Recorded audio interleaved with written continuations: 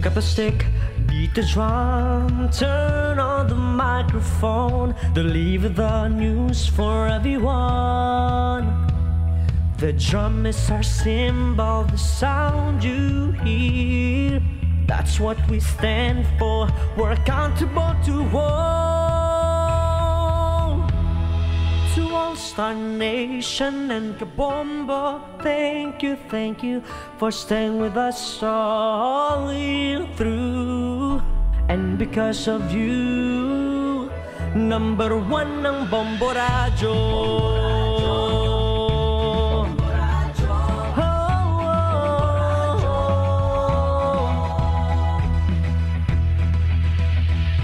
In good times and bad times, we communicate to everyone. Issues delivered fast in real time. Our mission is clear, we fear no one. Balanced commentaries, professionally done. To Star Nation and Kabombo, thank you, thank you for staying with us all year through. And because of you, number one ng Bombo Radyo. 55 years we continue. For so many years it's still ago.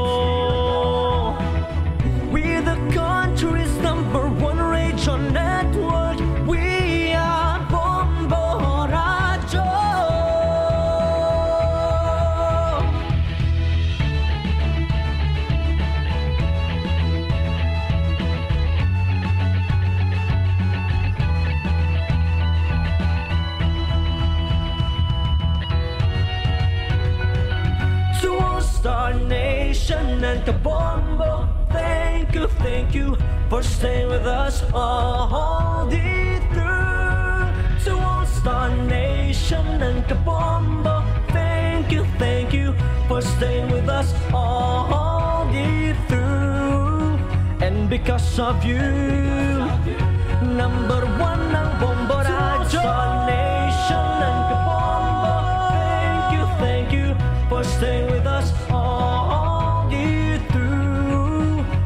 because of you, number one, ang Bombo Radio.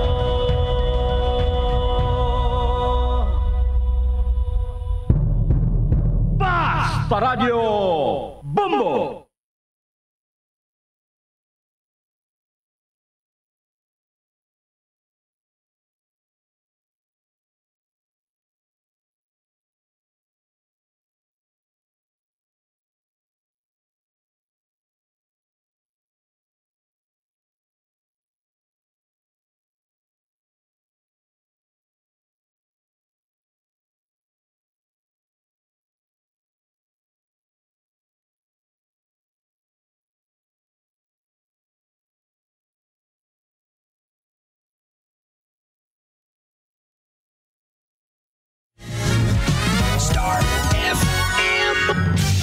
Narito na ang Best Newscast sa 24th KBP Golden Dove Awards. Bonbon Network News. And the KBP Golden Dove for Best Radio Newscast Metro Manila goes to Bombo News, DWSM, Star FM, Bombo Radio. At ngayon, ang inyong tagapagbalita. Magandang tanghali Pilipinas sa numang oras sa buong mundo. Narito ang Bombo Network News Noontime Edition, Agosto 26, 2021 sa ulo ng ating mga balita. Tatlong miyembro ng Kidnap for Ransom Group na naresto matapos marescue ang dalawang bihag ng mga Chinese nationals kinasuhan na sa Pasay City. Panibagong mga lugar sa Central Luzon nakitaan na rin ng mabilis na paglobo ng mga bagong COVID-19 cases. Samantala, yung mga COVID-19 vaccines posible raw maging commercially available na sa unang quarter ng taong ah, 2022. Ang COMELEC naman tiniyak na walang dayaan sa 2022 elections matapos ibinigay ang Notice of Award sa delivery ng election supplies sa campaign contributor ni Pangulong Duterte. At sa atin namang international news, United Kingdom at Amerika, inabisuhan na rin ang mga nasa Kabul Airport pa doon sa Afghanistan nilan sa banta na pag-atake ng teroristang ISIS.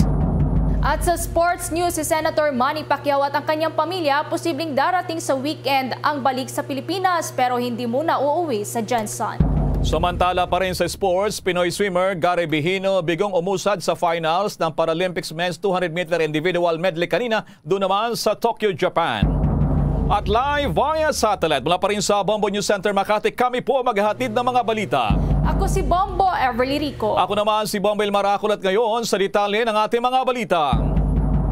Mga kabombo, Kasar Nation, pumangatlo daw ang Pilipinas sa listahan ng 28 mga bansa sa Western Pacific na may pinakamaraming bilang ng mga COVID-19 infections. Ayon sa report ng World Health Organization, ipinapakita sa data sa World Tally as of August 25 ng bansang Malaysia, ang Japan, Vietnam, kabilang ang Pilipinas sa may pinakamatas na bilang ng bagong kaso ng COVID-19.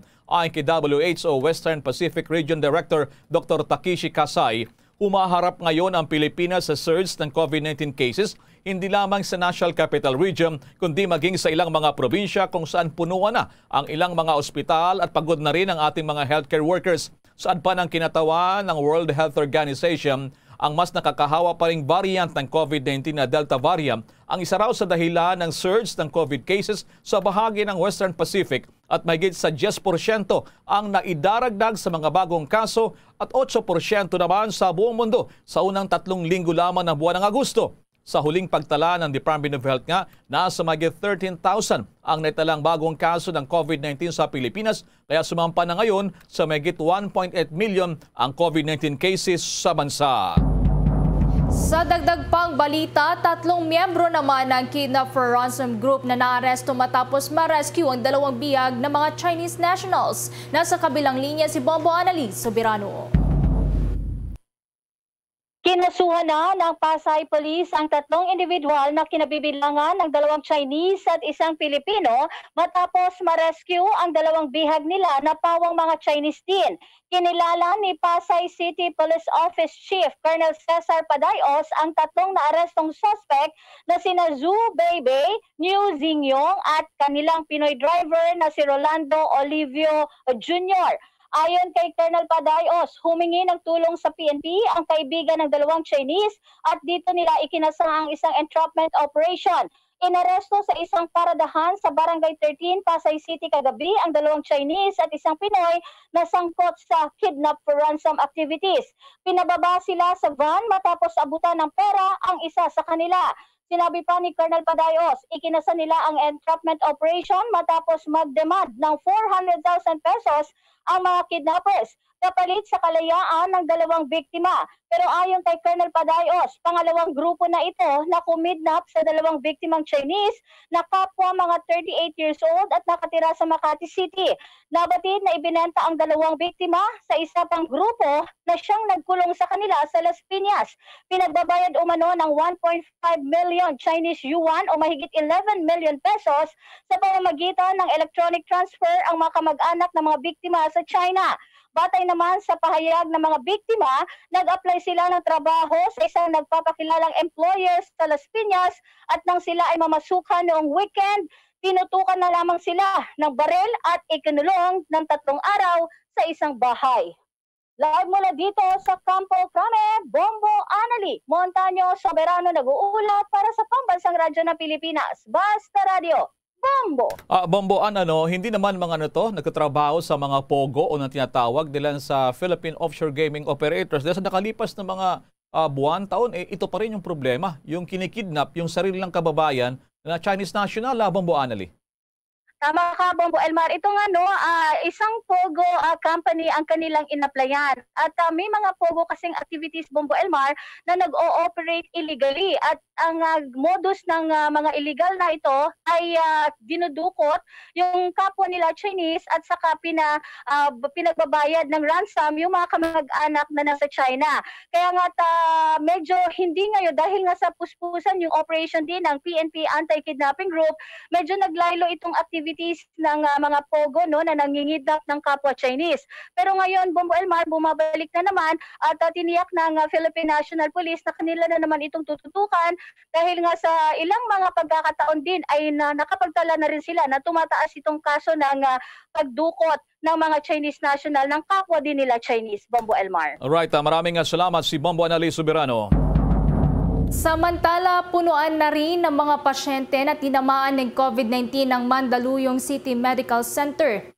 Ayon kay Dr. Cesar Tutaan, ang MMC Administrator nasa full capacity na rin ang kanilang ospital kung saan nasa 75 ang COVID beds ay okupado na. Sinasabing nasa 42 sa mga ito ay probable at suspected cases ng COVID-19 na nag-aantay pa ng resulta ng swab test. Sa 32 namang mga COVID cases, ang nasa 21 sa mga ito ay hindi pa mga bakunado. Lima naman sa kanilang healthcare workers ang tinamaan din ng virus. Samantala sa kabila nito, tumatanggap pa rin naman ang ospital ng mga non-COVID patients, lalo na ang mga buntis. Samantala, una na nga nagdeklara ng full capacity ang Quezon City General Hospital. Ang Novaliches uh, Hospital naman ay tumaas pa sa 135% ang occupancy rate. Sumunod ding nagdeklara ng full capacity ang Rosario Maclang Bautista General Hospital kung saan nasa mahigit anim na po ang confirmed COVID-19 patients at puno na rin ang kanilang mga wards.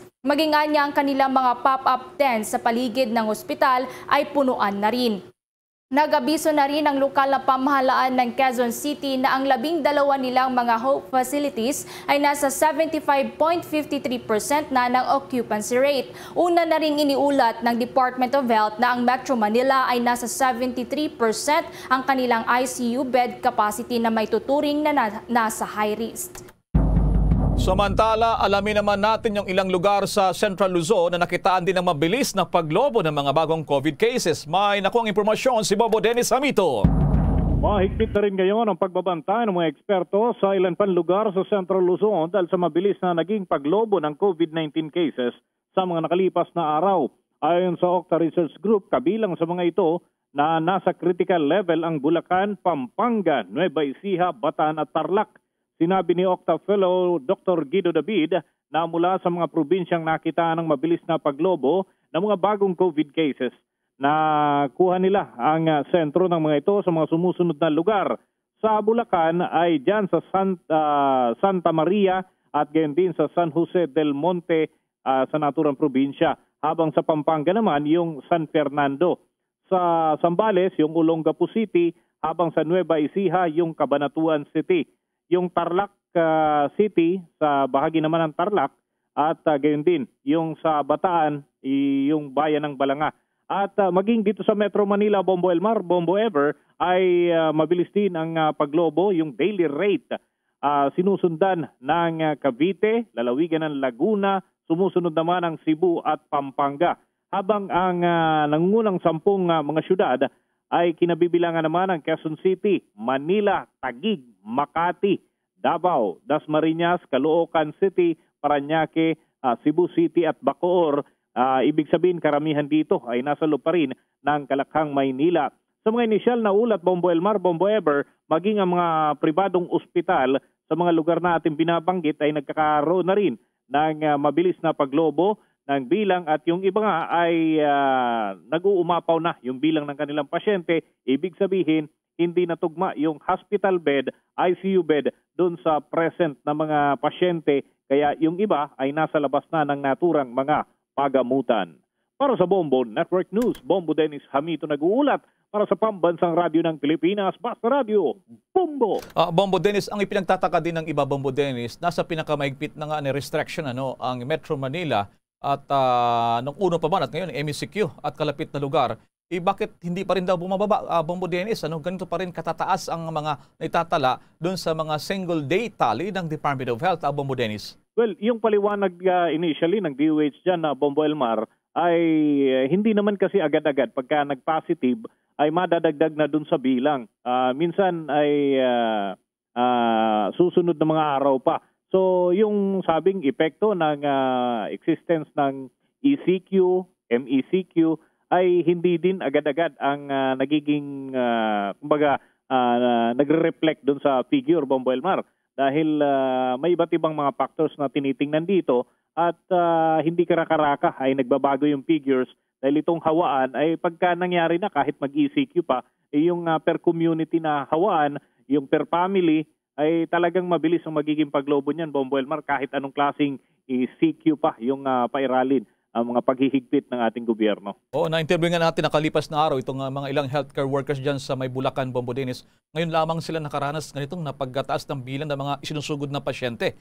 Naglagay na ng dagdag ng mga tens, ano, triads. Itong nakalipas na buwan ng Abril, nakalipas na hindi raw sila nakaranas ng ganito karami ng mga pasyente. Ngayon lamang nga, Bombo Dennis. Mm, Ganun na nga, Bombo Elmar.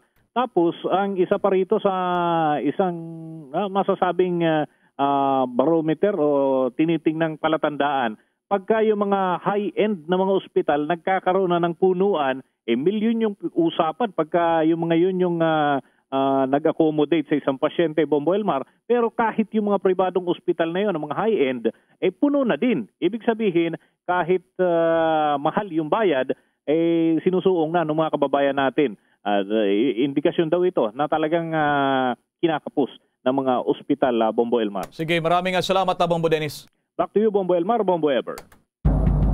Sa iba pang mga balita, inihayag naman ng Food and Drug Administration na posibleng maging available na ang COVID-19 vaccine sa merkado sa unang quarter sa susunod na taon dito sa bansa. Ito ay kasunod ng paggarantiya ng US uh, Food and Drug Administration sa full approval sa paggamit si COVID-19 vaccine na gawa ng Pfizer sa mga edad na labing-anim pataas. Nauna nang binigyan ng emergency use authorization sa Amerika ang Pfizer vaccine noong December 2020 habang sa Pilipinas naman ay noong January 2021. Ayon kay FDA Director General Eric Domingo, inaasahan na magsusumite ang Pfizer vaccine firm ng aplikasyon para sa approval ng kanilang COVID-19 vaccine para maging available na ito sa merkado sa Pilipinas.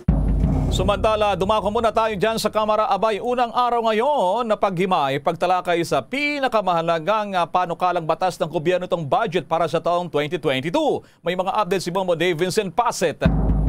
Bombo Elmar, Bombo Everly, umarangkada na nga ngayong ah, araw ang ah, deliberasyon o yung budget hearing ng Kamara sa proposed 5.24 trillion na pesos na proposed national budget para sa susunod na taon. Unang sumalang sa House Committee on Appropriations na hearing itong ah, Development Budget Coordination Committee o itong DBCC. Ayon kay Budget Department ah, OIC Tina Rose Maricanda, ang huling ah, full year budget ng Duterte administration ay nakatutok sa pagpapanatili ng legacy ng reforma sa bansa. Nakasentro rin aniya ang pondo sa susunod na taon sa COVID-19 response, pagbangon ng ekonomiya at infrastructure program ng Duterte administration. Una rito, umapila si House Committee on Appropriations Chairman Eric Yap sa mga kalihim ng bawat kagawaran na personal sanang humarap sa paghimay ng pambansang pondo. Kung maaari ang mga matatanda at yung mayroong mga sakit at vulnerable sa COVID-19 lang sana ang makibahagi sa pamamagitan naman ng video teleconference. Hiniling din ito ang pakikipagtulungan ng mga heads ng kagawaran na maaprubahan ang budget ng sakto sa oras. Kaugnay niyan, pakinggan natin ang bahagi ng pahayag ni House Committee on Appropriations Chairman Eric Go Yap. I implore each member of this Congress to participate and to be active in our deliberations and pass this budget without delay. In 12 months ago, when we deliberated the 2021 national budget, we are dealing with the effects of the pandemic.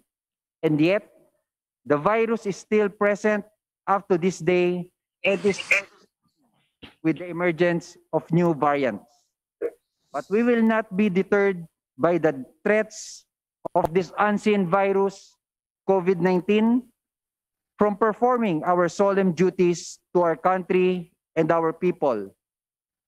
To provide an effective pandemic response through this budget, we must act swiftly, efficiently, effectively to win the fight against COVID-19 in the coming years. Ang sektor para sa social services ang makakatanggap ng pinakamalaking bahagi ng pondo na aabot sa 1.922 trillion pesos.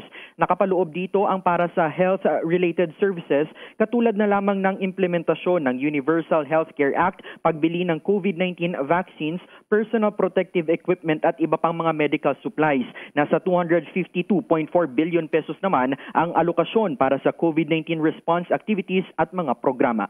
Bombo Davidson Pasit nag-uulat para sa Pambansang Radyo ng Pilipinas. Basta Radio, Bombo! Ang mga pandetalye ang paliwanag naman ng COMELEC sa mag-supply ng uh, mga kailanganin naman sa halalan para naman sa susunod na taon. Pero bago ang balitang yan, samantala muna sa paalala.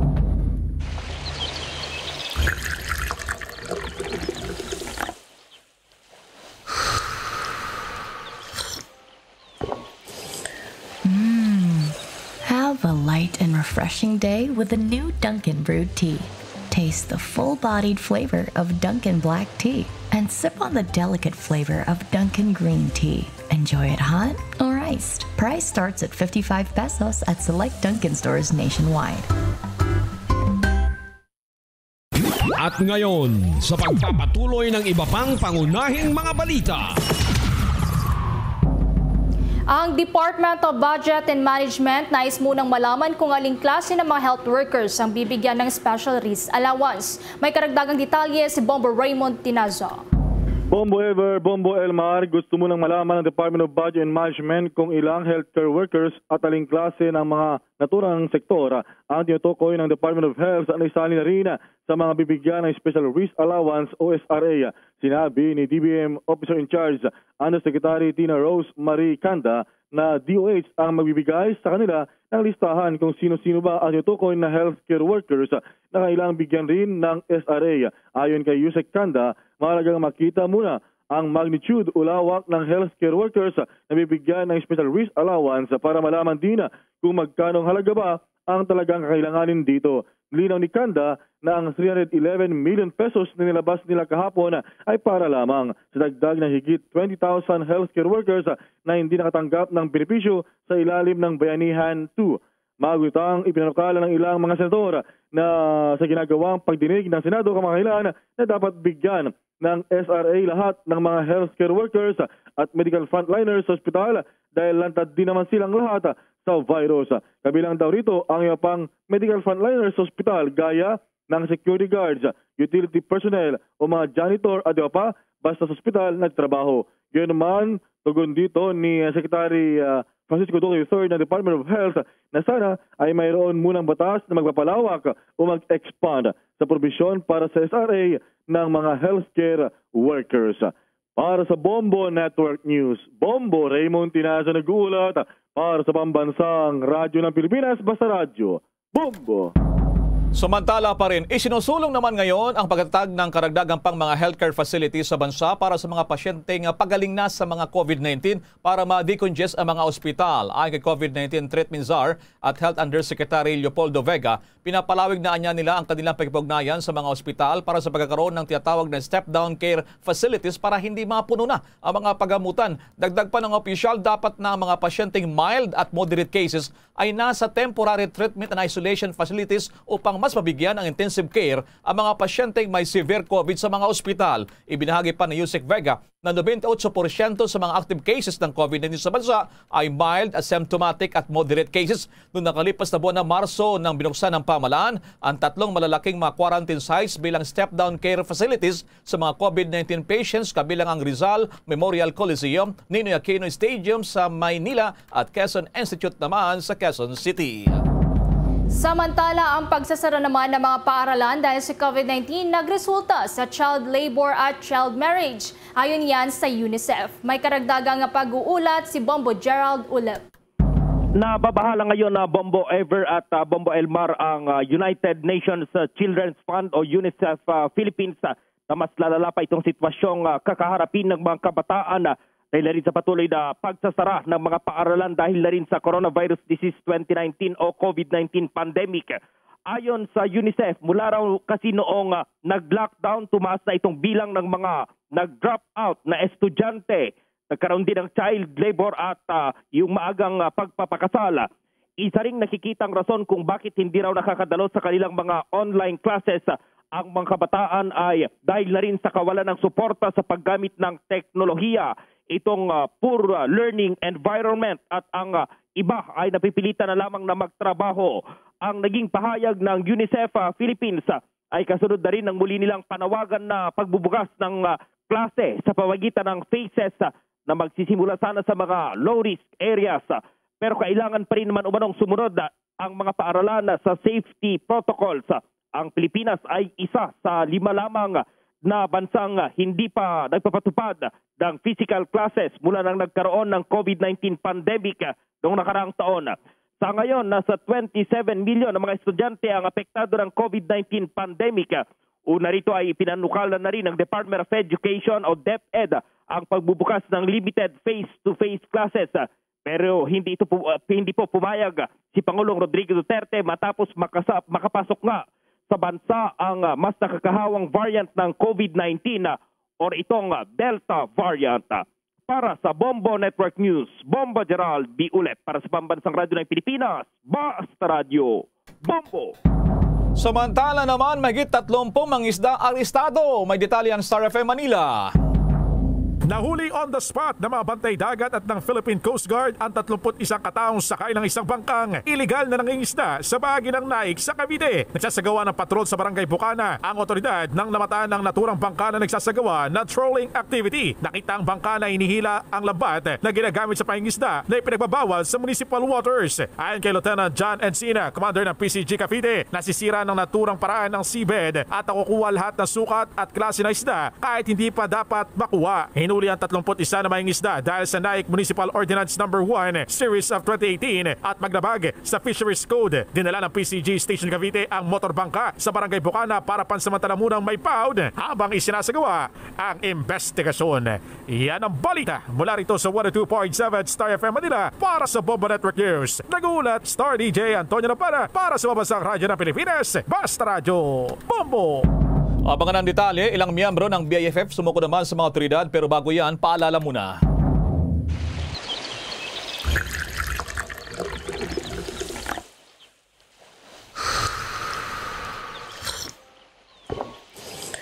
Mmm, have a light and refreshing day with a new Dunkin' Brewed Tea.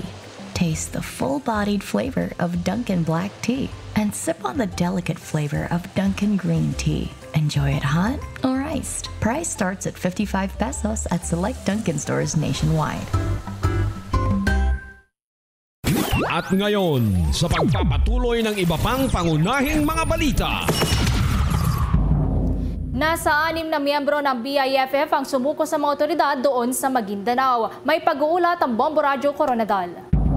Matagumpay na sumuko ang dagdag pang anim na mga kasapi ng Bangsamoro Islamic Freedom Fighters o BIFF sa Joint Task Force Central o GTF Central. Bit-bit na mga ito ang matataas na kalibre ng baril. Kinilala ang mga sumukong kasapi na sina Aratok Silungan, Aladin Kuntong, Jaime Ginaid, Tuntun Ginaid, Pagal Sape at Dato Ali Calagyo na pawang miyembro ng Bangsamoro Islamic Freedom Fighters Bungos Faction. Isinuko naman ito ang siyam na matataas na kalibre ng baril sa security forces kabilang na ang isang 60mm mortar, tatlong M16A1 rifle, isang caliber 30 M1 Grand Rifle, isang Springfield Rifle, isang rocket-propelled grenade, at isang locally made caliber 50 Barrett Sniper Rifle at isang M79 grenade launcher. Ayon naman kay Lieutenant Colonel John Paul Baldomar, Tagapagsalita ng 6th Infantry Division Philippine Army, inaasahang makakatanggap ng ayuda galing sa Aguila Haven Program ang mga sumukong terorista para suportahan ang mga ito sa kanilang pagbabago. Nagpapatuloy naman ang panawagan ng mga militar sa mga miyembro o kasapi ng Dawla Islamia at Bangsamoro Islamic Freedom Fighters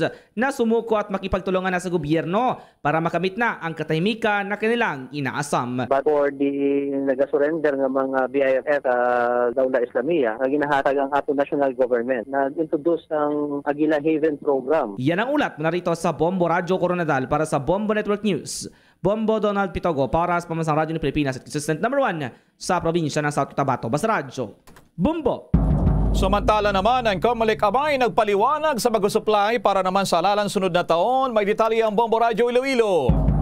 Binawi ng Commission on Elections o COMELEC ang pangamba ng publiko na may mangyayaring dayaan sa 2022 national and local elections. Ito'y matapos inaprobahan ng COMELEC and Bank ang Notice of Award sa F2 Logistics upang mag-deliver ng election supplies sa susunod na halalan sa eksklusibong panayam ng Bombo Radyo Iloilo kay COMELEC Commissioner Atty. Rowena Guanzon. Sinabi nito na hindi nila maaaring ipawalang bis ang kontrata sa logistics firm sa kabila ng kaugnay nito sa Davao businessman na si Dennis Oya. Ayon kay Guanzon, hindi sapat na dahilan sa pag-disqualify sa 1.61 billion peso contract sa dahilan na major campaign contributor si Oya ni Pangulong Rodrigo Duterte. Bukas namanaan niya ang COMELEC sa mga election watchdog na magbantay sa pag-deliver ng election para Fernalia. Ang F2 ni Dennis, uy, kung ganegosyo gid man sila sina, na lang man mo na disqualify, eh, wala man sila violation sa bidding rules. Ang bantayan ta, imprinta sa balota, ang pag-deliver sila yang, eh, logistics na yang, pag, pagdulong sila mo, didindang daya. Sa COMELEC Commissioner Atty. Rowena Guanzona. Yan ang ulat mula dito sa Bombo Radyo Iloilo. Ito si Bombo Christian Lusada para sa pamasang radyo ng Pilipinas at consistent overall number one sa Iloilo. Basta Radyo Bombo! Bombo International News. Binalaan ng Amerika at UK government ang kanilang mamamayan na kasalukuyang nasa Kabul Airport ng Afghanistan dahil sa mataas na banta ng terrorist attack. Sa inilabas na abiso mula sa US State Department, pinayuhan ang mga US uh, citizen na nag-aantay sa ilang gates ng Hamid Karzai International Airport sa Kabul na agad nang lisanin ng lugar at iwasang magpunta sa naturang paliparan maliban na lamang kung may hiwalay na instruksyon mula sa US government para sa kanilang evacuation. Agad din na naglabas ng kaparehong security warning ang Foreign Commonwealth and Development Office ng UK. Lumutang ang naturang security warning kasunod ng babala ng US military at intelligence analysts sa pinaplanong multiple attack ng teroristang grupo na ISIS-K na matinding kalaban ng Taliban at Amerika sa may Kabul Airport kung saan libo-libo pang mga foreign national at Afghans ang kasalukuyang naroon. Tumindi pa ang pangamba sa banta ng terror attack matapos na nasa mayigit isang daang bilanggo na loyal sa ka- nakaanib ng ISIS sa Afghanistan ang nakatakas mula sa dalawang jail malapit sa Kabul Airport. Samantala, ang natitira namang medical supplies ng World Health Organization sa Afghanistan pang isang linggo na lamang. May nakalap na detalye dyan ng Star FM Bacolod.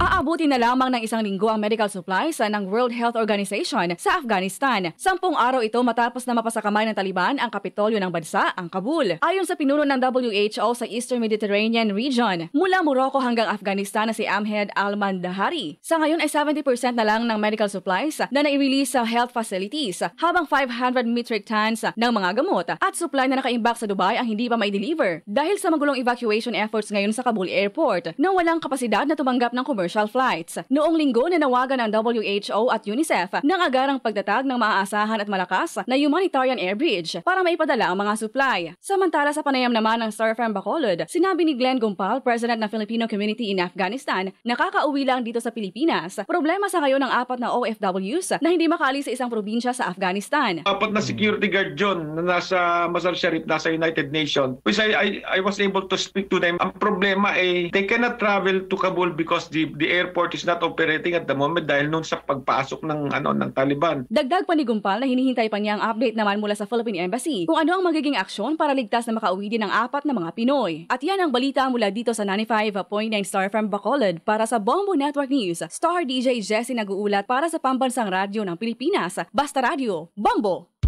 Bombo Sports News. Kuha muna tayo ng update sa natatang pagbabalik sa Pilipinas na Senator Manny Pacquiao. May nakong impormasyon ng Bombo Radio Jensen. Posibleng hindi muna uuwi ng Jensen si Senator Manny Pacquiao habang sasailalim sa mandatory quarantine pagdating ng bansa ngayong linggo. Sa Sabado na kasi ang pag-alis ni Manny sa Los Angeles, pauwi ng bansa kasama ang pamilya nito. Ito ang sinabi ni Joy Concepcion, Mindanao Tem Head ng Senador sa panayam ng Bombo Radio. Marami umanong dapat tutukan ng senador gayong babalik na ang sesyon. Dagdag ni Concepcion na ibang giyera na naman harapin ni Pacquiao matapos ang pakipagharap kay Yordanes Ugas. Uh, dili pa kayo sa specific but hopefully by Saturday makauli na po ng ang nga senador kay excited na po sa muli sa Pilipinas. Kay ubay-ubay po lang iyang pag-preparahan siyempre no isip uh, public servant sa tuwang uh, nasod. Nalaman na nang umalis ng Los Angeles ang mga kapatid ni Manny na sina Congressman Ruel at Party List Representative Bobby pauwi ng bansa. Yan ang ulat mula rito sa Bombo Radio General Santos. Bombo Bigalano para sa Pamsa Radio de Pilipinas, ang consistent number one sa Jansan Basta Radio, Bombo! Bago tayo magtapos ang Bombo Radio Philippines, nagaanyaya po sa lahat para sa sama-samang panalangin. Narito ang Orasyo Imperata. Merciful and compassionate Father, we come to you in our need to seek your protection against the COVID 19 virus that has disturbed and even claimed lives. We ask you now to look upon us with love and by your healing hand. Dispel the fear and sickness and death, restore our hope, and strengthen our faith. We pray that you guide the people tasked to find cures for this disease and to stem its transmission. We thank you for the vaccines developed made possible by your guiding hands. Bless our efforts to use these vaccines to end the pandemic in our country. We pray for health workers that they may minister to the sick with competence and compassion. Grant them health in mind and body, strength in their commitment, protection from the disease. We pray for those afflicted. May they be restored to health. Protect those who care for them. Grant eternal rest to those who have died. Give us a grace in these trying times to work for the good of all and to help those in need. May our concern and compassion for each other see us through this crisis and lead us to conversion and holiness. Grant all these through our Lord Jesus Christ, your Son, who lives and reigns with you in the unity of the Holy Spirit, God, forever and ever. Amen. Amen. At live nationwide worldwide via satellite mula sa Bombo News Center Makati, kami po ang naghatid ng mga balita. Ako si Bombo Everly Rico. Ako naman si Bombel Maracol para sa Pambansang Radyo ng Pilipinas, Basta Radyo, Bombo! At sumainyo ang kalipunan ng maiinit at pangunahing mga balita sa Bombo Network News. Hatid sa inyo ng Pambansang Radyo ng Pilipinas. Bombo Radio Philippines. Pa! Radyo Bombo!